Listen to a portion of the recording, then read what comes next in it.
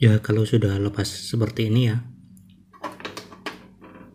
Kita dorong ke kanan dan ke kiri ya.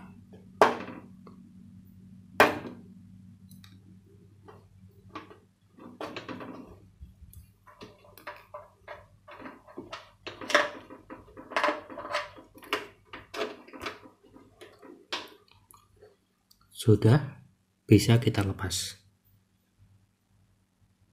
cara masangnya gampang.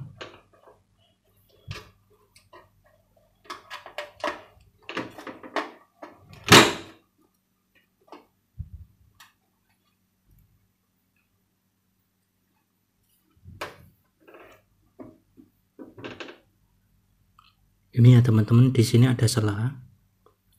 Dan di sini juga ada sela ya. Jadi ini hadap ke bawah. Jangan sampai kebalik